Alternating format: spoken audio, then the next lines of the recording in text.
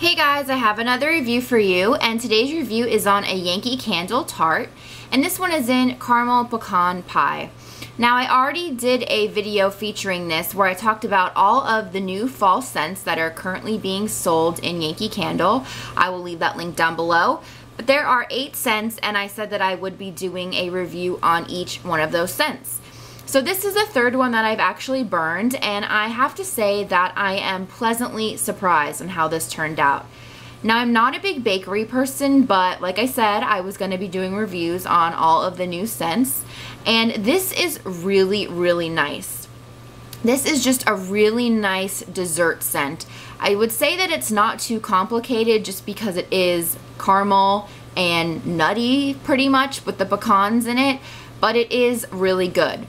All of you guys that are familiar with Candles by Victoria, this reminds me of two scents combined. One of my all-time favorite scents, Vanilla Maple Pecan, which is just a really nice sweet scent, and then caramelized pralines. So if you mix those two together, that is exactly what I'm smelling here. This is just a really nice, sweet, nutty scent.